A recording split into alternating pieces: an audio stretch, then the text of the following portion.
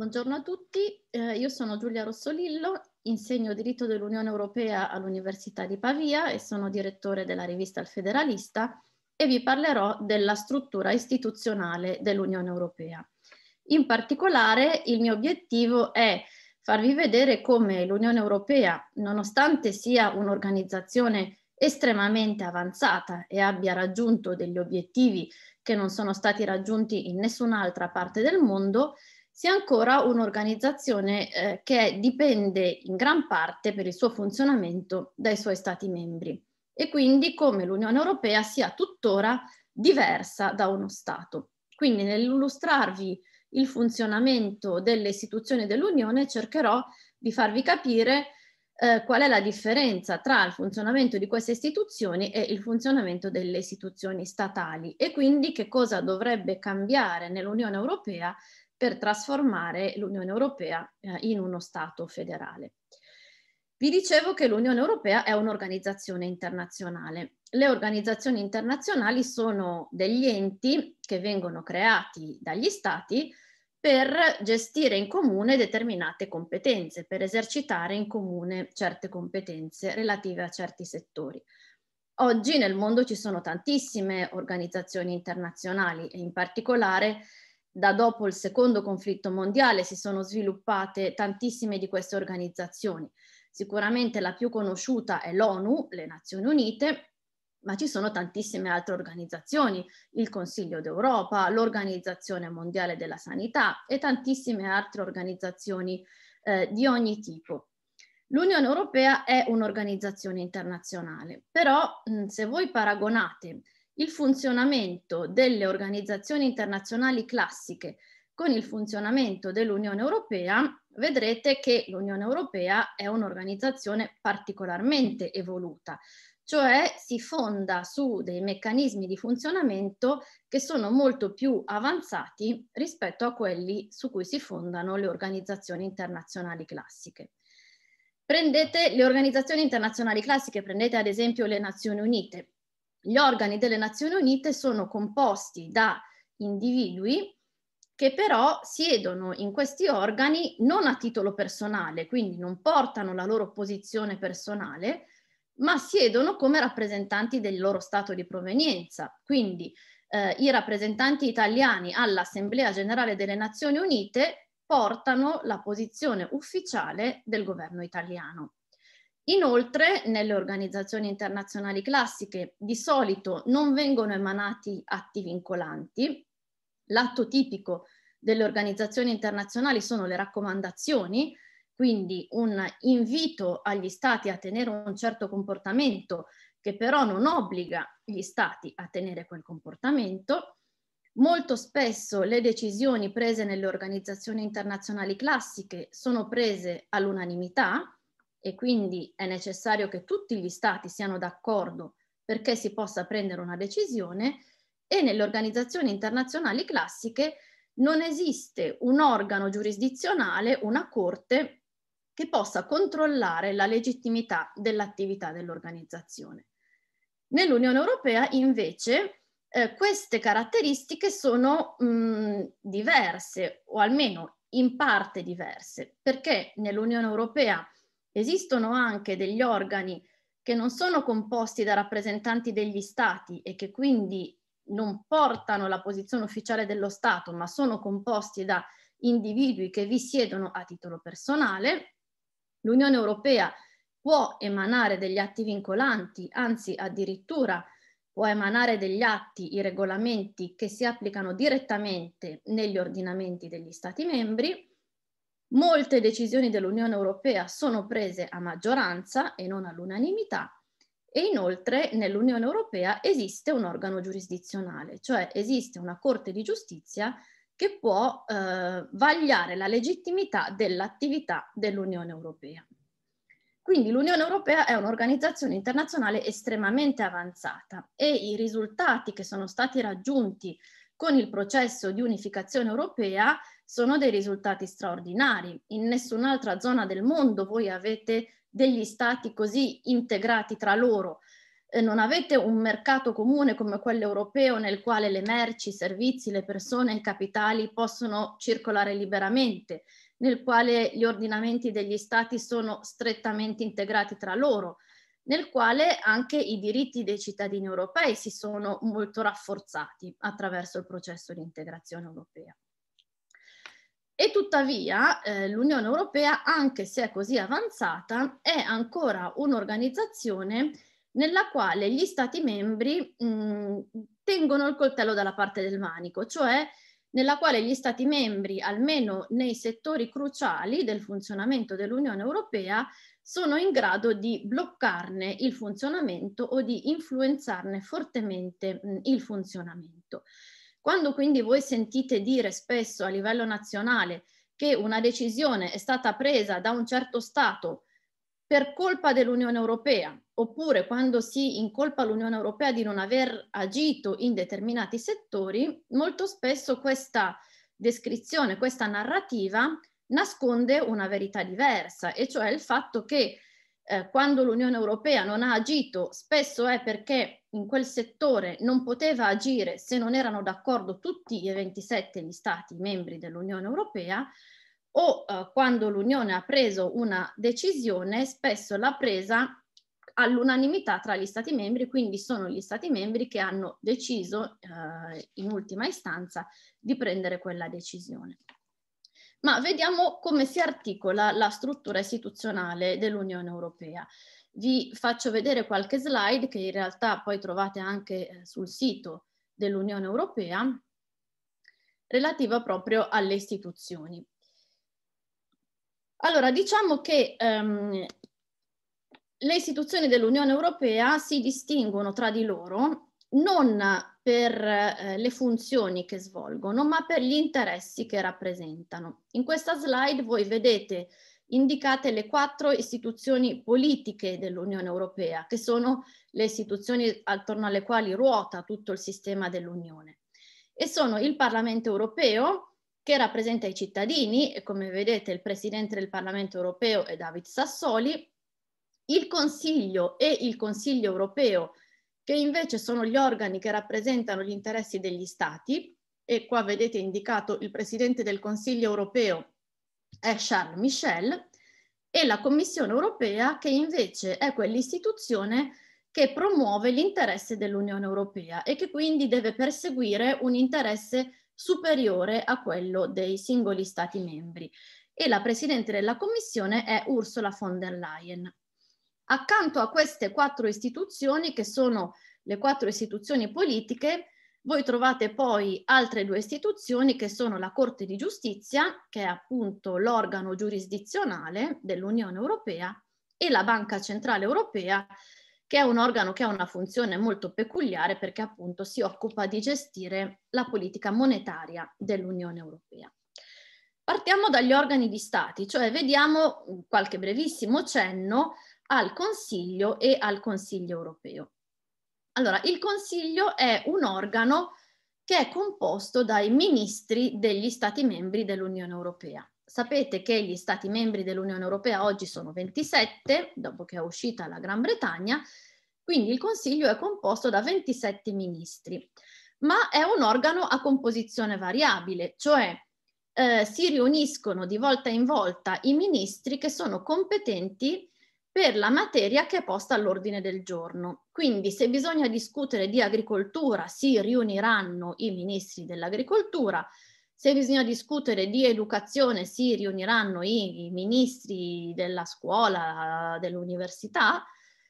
se bisogna discutere di eh, questioni economiche si riuniranno i ministri dell'economia e delle finanze e in questo caso il Consiglio prende una particolare denominazione, cioè viene chiamato ECOFIN, ne avrete sicuramente sentito parlare.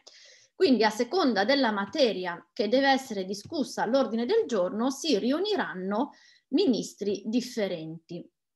Il Consiglio poi è presieduto da uno Stato membro ogni sei mesi. Anche qui avrete sicuramente sentito parlare del semestre di presidenza. Quindi ogni sei mesi uno Stato diverso eh, assume la presidenza del Consiglio e lo Stato che esercita la presidenza del Consiglio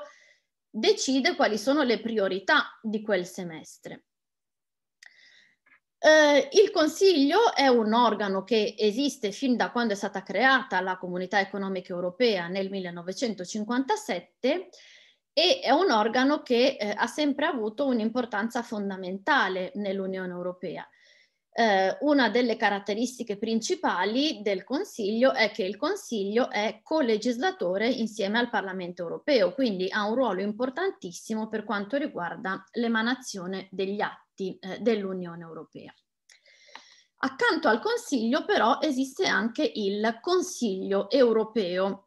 eh, le riunioni del Consiglio europeo sono chiamate vertici, eh, quindi vertici dei capi di Stato e di governo dei Paesi membri dell'Unione e anche il Consiglio europeo, cioè soprattutto il Consiglio europeo, è l'organo che rappresenta gli interessi degli Stati membri. Questo organo in realtà non esisteva quando è stata creata la Comunità Economica Europea. È un organo che è nato dalla prassi, cioè dalla prassi dei capi di Stato e di governo di trovarsi, riunirsi periodicamente per decidere gli orientamenti del processo di unificazione europea. Poi questo organo è diventato un'istituzione eh, vera e propria ed è eh, composto appunto dai capi di Stato e di governo eh, degli Stati membri dell'Unione Europea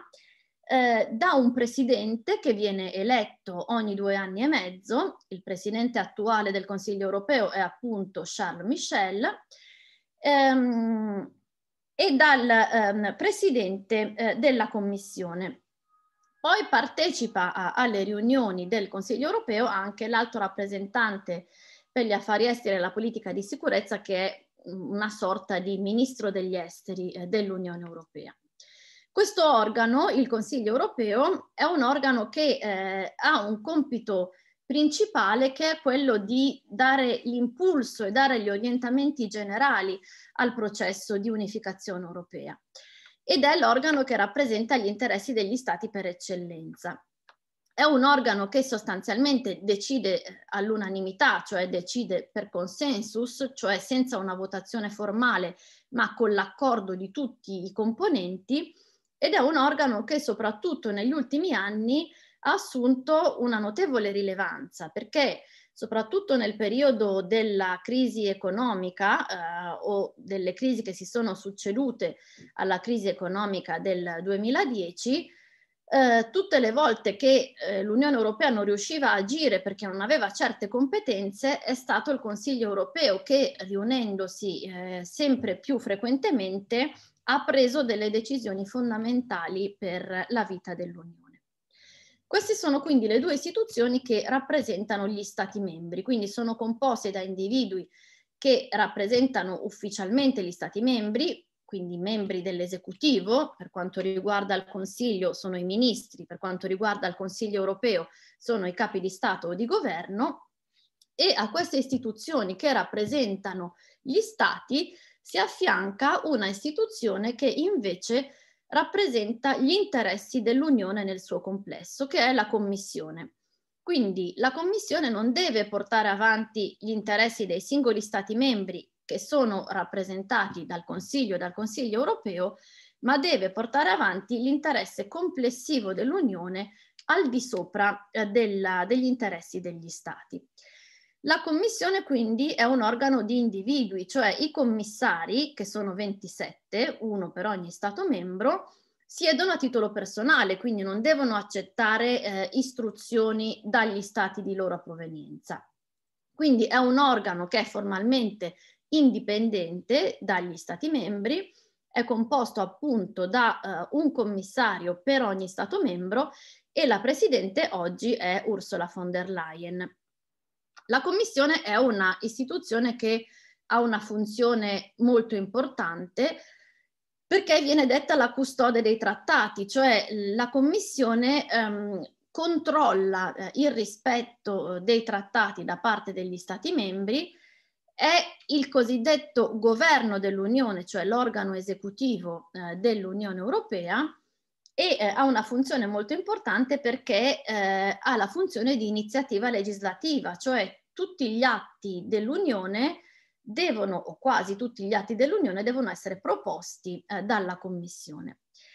Per capire però uh, qual è il grado di indipendenza della Commissione e qual è la differenza tra la Commissione e un governo nazionale, bisogna guardare alla nomina della Commissione.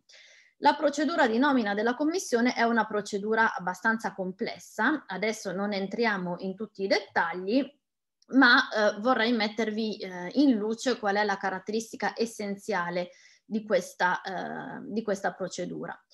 Allora, innanzitutto ehm, la commissione viene nominata in varie fasi, cioè prima si eh, sceglie e si nomina il presidente della commissione e solo dopo che è stato nominato il presidente della commissione vengono poi nominati i singoli commissari. Allora, il presidente della commissione è scelto dal Consiglio europeo, cioè l'organo composto dai capi di Stato e di governo eh, propone un individuo come presidente della commissione e nel fare questa proposta deve tenere conto del risultato delle elezioni del Parlamento europeo. Quindi eh, i trattati ci dicono che quando il Consiglio europeo sceglie il candidato per svolgere il ruolo di presidente della Commissione, deve sceglierlo nella forza politica che ha eh, ottenuto la maggioranza nella, alle elezioni del Parlamento europeo. Questo meccanismo, che è un meccanismo che è stato eh, introdotto dal Trattato di Lisbona, è un meccanismo che ha dato origine poi al cosiddetto sistema degli Spitzenkandidaten, cioè ogni forza politica del Parlamento europeo propone mh, prima delle elezioni del Parlamento il proprio candidato alla presidenza della Commissione e teoricamente il Consiglio europeo dovrebbe poi scegliere il candidato proposto dalla forza politica che ha ottenuto la maggioranza del Parlamento europeo. In realtà nell'ultima eh, nomina della Commissione non è proprio stato così perché il presidente che era stato, il candidato che era stato proposto dal Partito Popolare Europeo era Weber e poi in realtà è stato scelto come presidente della commissione una candidata differente sempre del PPE che era appunto Ursula von der Leyen. Comunque il Consiglio europeo sceglie il candidato alla figura di presidente lo propone al Parlamento europeo e il Parlamento europeo elegge il eh, presidente della Commissione. Dopodiché il Consiglio, cioè eh, quell'organo composto dai ministri degli Stati membri, insieme al Presidente, decidono quali sono i commissari sulla base delle proposte fatte dai singoli Stati membri. Quindi, di fatto, che cosa succede? Che il Presidente della Commissione viene scelto eh, da, nella forza politica del Parlamento europeo che ha ottenuto la maggioranza. Ma poi il presidente, una volta che viene eletto, non ha la facoltà di scegliere i membri del proprio, diciamo così, governo e quindi i membri della commissione, perché i membri della commissione sono poi scelti dal Consiglio insieme al Presidente sulla base delle indicazioni fornite dai singoli Stati. Quindi di fatto sono i singoli Stati che propongono il loro commissario. Questo fa sì che nella Commissione non ci sia omogeneità politica, perché appunto non è il Presidente che sceglie i membri del suo governo, ma si trova una commissione che è stata che è composta dai commissari proposti dai singoli Stati membri che ovviamente hanno tendenze politiche diverse.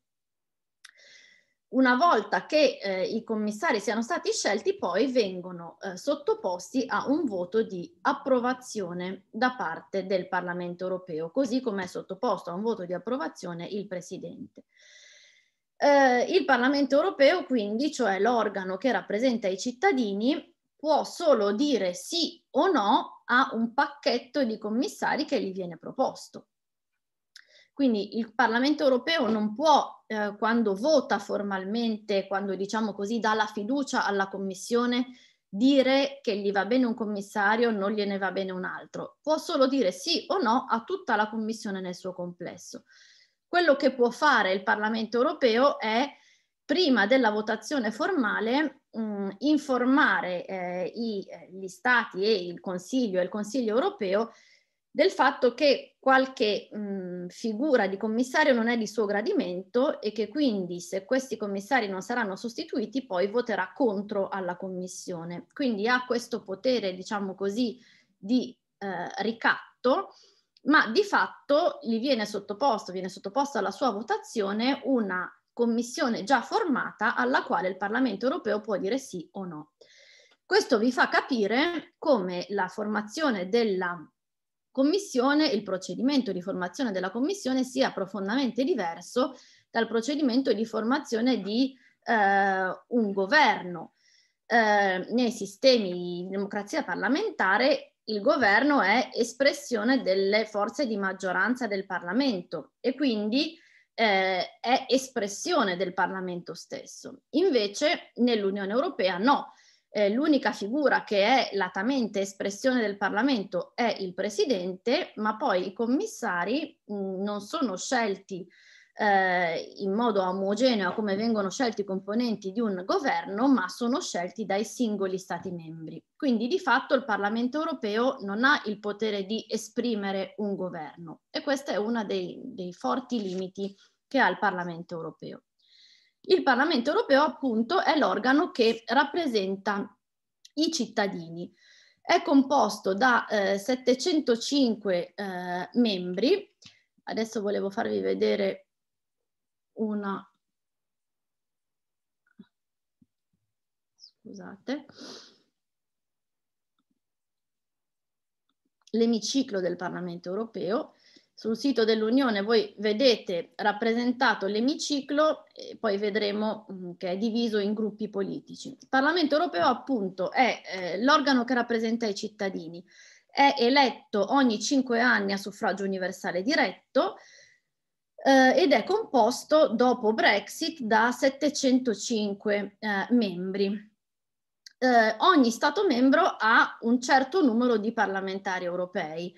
eh, e questo numero di parlamentari europei è deciso più o meno in modo proporzionale alla sua popolazione. Quindi uno Stato grande come la Germania ha ovviamente più parlamentari europei di quanto ne abbia uno Stato piccolo come può essere Lussemburgo o Malta. Però questa proporzione tra eh, numero di parlamentari che spettano a uno Stato e popolazione dello Stato non è una proporzione perfetta, nel senso che la distribuzione dei seggi ai singoli stati eh, tende ad avvantaggiare gli stati meno popolosi. Quindi eh, un parlamentare europeo di Malta rappresenta molti meno cittadini maltesi di quanti ne rappresenti un parlamentare europeo tedesco. Questo vuol dire che eh, gli stati molto popolosi come la Germania, i cittadini degli stati molto popolosi sono sottorappresentati rispetto ai cittadini degli stati eh, poco popolosi. Eh, per darvi un'idea, un parlamentare europeo di Malta rappresenta più o meno 80.000 cittadini maltesi e un parlamentare europeo tedesco ne rappresenta invece più o meno 800.000. Quindi c'è un certo squilibrio tra la rappresentanza dei cittadini dei diversi Stati membri, mentre invece in un Parlamento federale la Camera bassa deve rappresentare in modo assolutamente proporzionale i cittadini eh, del, di tutti gli Stati membri della federazione. Il Parlamento europeo poi si divide al suo interno in commissioni e soprattutto in gruppi politici, cioè è suddiviso al suo interno in modo abbastanza simile a come eh, è suddiviso un Parlamento nazionale che è suddiviso in, in partiti politici. I gruppi politici sono più ampi dei partiti politici nazionali, quindi eh, i parlamentari europei si eh, suddividono oh, in gruppi politici che rappresentano più partiti nazionali. In particolare per costituire un gruppo politico eh, bisogna che ci siano almeno 25 parlamentari europei che provengano da almeno un quarto degli Stati membri e questi gruppi politici devono essere omogenei eh, politicamente, quindi non possono esistere dei gruppi misti. Vedete qua indicati i gruppi politici, se andate con il cursore nel sito dell'Unione su questa pagina, vedete quanti seggi spettano ad ogni gruppo politico ci sono otto gruppi politici, attualmente eh, avete, vedete il PPE, eh, i socialisti, eh, eccetera, eccetera. Uh, se voi andate con il cursore sulle, sui singoli uh, pallini che vedete nell'emiciclo del Parlamento europeo, vi compare il parlamentare europeo che è seduto in quel posto e il gruppo politico al quale uh, il parlamentare europeo appartiene. Quindi il Parlamento europeo è suddiviso in gruppi politici così come i parlamenti nazionali sono suddivisi in partiti politici, ma questi gruppi politici appunto sono molto più eh, ampi dei partiti perché ricomprendono eh, partiti nazionali che hanno la stessa eh, tendenza ma che ovviamente sono eh, diversi tra di loro. Il Parlamento europeo è un'istituzione che ha visto il suo ruolo cambiare moltissimo dall'inizio del processo di integrazione europea a oggi perché all'inizio del processo di integrazione europea il Parlamento europeo non solo non era eletto a suffragio universale diretto, ma aveva anche dei poteri molto limitati, eh, poteva mh, sostanzialmente dare solamente dei pareri non vincolanti. Oggi invece il Parlamento europeo eh, è colegislatore, cioè partecipa in tantissimi settori all'emanazione degli atti insieme al Consiglio, eh, ha dei poteri che si sono accresciuti tantissimo negli anni, ha ancora però dei limiti che lo rendono diverso da un Parlamento nazionale. Il primo limite che vi dicevo è quello al quale accennavamo prima, cioè il Parlamento europeo eh, non esprime un governo, perché eh, sostanzialmente esprime solo il presidente della Commissione, ma non tutta la Commissione. Poi il Parlamento europeo non ha il potere di iniziativa legislativa, quindi non può proporre eh, gli atti dell'Unione europea che sono invece proposti dalla Commissione. E poi vedremo il Parlamento europeo ha delle, eh, dei poteri molto limitati ed è questo il suo principale limite nei due settori cardine del funzionamento di qualsiasi Stato, e cioè nel settore eh, fiscale e cioè delle risorse dell'Unione Europea e nel settore della politica estera e di sicurezza. Accanto alle istituzioni che abbiamo appena visto, accenniamo solamente alle altre due, e cioè eh, alla Corte di Giustizia e mh, alla Banca Centrale Europea. Eh, la Corte di Giustizia è l'organo giurisdizionale dell'Unione Europea mm, ed è eh, composto da uh, un giudice per ogni Stato membro, la Corte di Giustizia eh, vera e propria, perché poi a questa si affianca anche un tribunale, e la Corte di Giustizia è l'organo giurisdizionale, quindi controlla eh, il rispetto del diritto dell'Unione Europea sia da parte delle istituzioni dell'Unione sia da parte degli Stati membri. E infine abbiamo la Banca Centrale Europea che è presieduta da Christine Lagarde,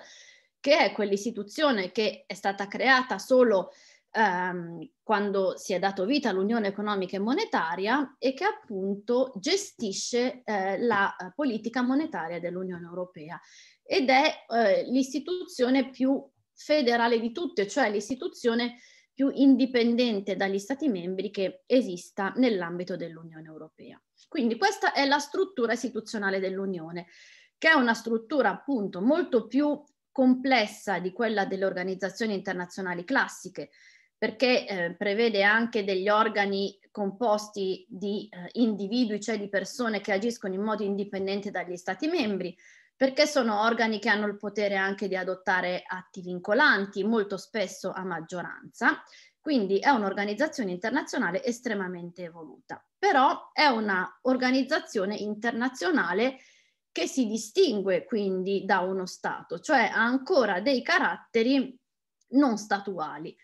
E eh, il fatto che l'Unione Europea abbia questi caratteri mh, emerge molto chiaramente non solo da quello che abbiamo visto finora, e cioè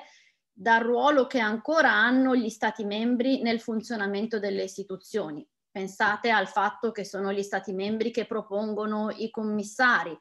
che il Parlamento europeo rappresenta ancora in modo diverso i singoli Stati membri. Ma emerge anche e soprattutto da due settori ai quali faccio solo brevemente cenno e che sono i due settori eh, essenziali per la vita di uno Stato, e cioè il settore della politica economica e fiscale, quindi quelle competenze che consentono a uno Stato di garantire eh, il benessere dei suoi cittadini e il funzionamento dello Stato e la politica estera e di sicurezza. Quindi il versante interno e il versante esterno eh, che sono i cardini della sovranità eh, degli Stati. Allora, in questi due settori, eh, che sono vitali per l'esistenza di qualsiasi organizzazione, eh, l'Unione Europea è ancora chiaramente totalmente dipendente dagli Stati membri. Cioè, in questi due settori, se non c'è accordo tra gli Stati membri, l'Unione Europea non può funzionare. Partiamo dal finanziamento dell'Unione Europea. Eh, il sistema di finanziamento dell'Unione Europea è un sistema abbastanza complesso, però vi dico solo qual è il dato fondamentale che vi fa capire come tuttora l'Unione dipenda dagli Stati membri. Allora, gli Stati membri innanzitutto decidono qual è l'ammontare del bilancio dell'Unione Europea, quindi l'ammontare delle entrate dell'Unione Europea e queste entrate sono molto limitate perché eh, il bilancio dell'Unione Europea è pari eh, più o meno all'1% del prodotto interno lordo degli Stati membri. Inoltre, gli Stati eh, sono anche i principali finanziatori dell'Unione Europea, cioè il 70% del bilancio dell'Unione Europea è costituito da versamenti degli Stati membri, da contributi degli Stati membri. Questo significa che se gli Stati membri decidono di non finanziare l'Unione Europea, l'Unione Europea non può più funzionare. Mentre invece in, una, in uno Stato federale eh, il potere centrale ha eh, il potere di tassare i cittadini, il potere di imporre delle tasse e quindi di finanziarsi autonomamente dagli Stati membri. Nell'Unione Europea questo non è possibile, cioè l'Unione Europea non ha eh, la competenza fiscale, non ha il potere di reperire direttamente le risorse dai cittadini, ma dipende dagli Stati membri. In questo settore, in quest'ultimo anno, si sono fatti dei passi in avanti, nel senso che in conseguenza della crisi sanitaria eh, del Covid, eh, si è ammesso per la prima volta che eh, l'Unione Europea possa fare debito e si è aperta la prospettiva che eh, in futuro il finanziamento dell'Unione Europea non sia più garantito da contributi degli Stati membri, ma da risorse proprie vere e proprie, cioè che sia garantita la possibilità, ma questo richiederà però una riforma dei trattati, che l'Unione Europea possa attraverso una competenza fiscale reperire autonomamente le risorse per il proprio finanziamento. Ma per il momento siamo ancora mh, lontani da questo obiettivo, cioè per il momento eh, il finanziamento dell'Unione dipende ancora dagli Stati membri e infatti trovare un accordo tra gli Stati membri in tema di finanziamento dell'Unione è sempre molto macchinoso eh, e molto difficile. Eh, per quanto riguarda l'altro versante, cioè la politica estera e di sicurezza, questo è un settore nel quale eh, gli Stati membri decidono all'unanimità. Quindi per quanto riguarda la politica estera e di sicurezza ci vuole l'accordo di tutti gli Stati membri perché si trovi una linea comune eh, e quindi l'altro rappresentante che è il cosiddetto ministro degli esteri dell'Unione che oggi è Borrell non può agire se non c'è l'accordo di tutti gli Stati membri e questo è evidente sullo scenario internazionale perché nelle maggiori crisi che si sono verificate negli ultimi anni, l'Unione Europea non è riuscita ad avere una posizione unitaria e quindi ogni Stato membro ha perseguito i suoi interessi e ha fatto la sua politica estera. A maggior ragione non esiste nemmeno una difesa europea vera e propria, cioè non esiste un esercito europeo. Esistono delle forme di cooperazione in materia di difesa eh, attraverso le quali però gli Stati membri forniscono degli uomini per delle forze di intervento, ma non esiste un esercito europeo che eh, risponda eh, a un governo europeo e che eh, sia in parallelo con una politica estera eh, dell'Unione Europea. In entrambi questi settori, cioè quello del finanziamento dell'Unione e quello della politica estera e di sicurezza, l'organo che rappresenta i cittadini, cioè il Parlamento europeo, ha dei poteri molto limitati. Per quanto riguarda le entrate dell'Unione può solo dare un parere non vincolante, per quanto riguarda la politica estera e di sicurezza viene semplicemente consultato ma non ha dei veri e propri poteri. Quindi come vedete L'Unione Europea è un'organizzazione internazionale estremamente evoluta, il processo di unificazione europea ha portato eh, tantissimi benefici ai cittadini e ha fortemente integrato gli stati dell'Unione Europea. E vedete infatti che uscire dall'Unione Europea è estremamente complesso come ha dimostrato Brexit, ma l'Unione Europea deve ancora fare un passo avanti per diventare effettivamente una eh, potenza nel, nell'equilibrio mondiale, cioè per mh, portare sulla, sulla scena mondiale gli interessi degli europei e la voce dei cittadini europei e per rendersi eh, indipendente dagli Stati membri. Fino a quando l'Unione Europea non farà questo passo in avanti e quindi non si trasformerà in uno Stato federale, anche se leggero, molto decentrato, eh, l'Unione Europea continuerà a essere un'organizzazione internazionale e continuerà a lasciare aperta la strada per gli Stati membri di bloccare il suo funzionamento. Quindi eh, nella situazione attuale noi siamo ancora a un punto nel quale l'Unione Europea ha estreme, tantissime eh, potenzialità e possibilità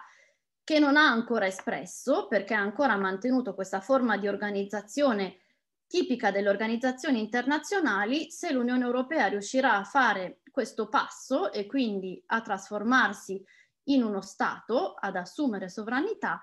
allora eh, gli interessi dei cittadini europei eh, saranno eh, rappresentati in modo pieno e l'Unione Europea potrà esprimere tutte le sue potenzialità eh, sullo scenario mondiale.